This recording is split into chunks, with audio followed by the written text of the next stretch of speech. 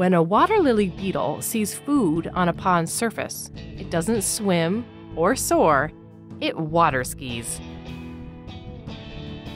Anchored to the water's surface with its claws, it lifts up its head and starts flapping, reaching speeds of up to half a meter per second.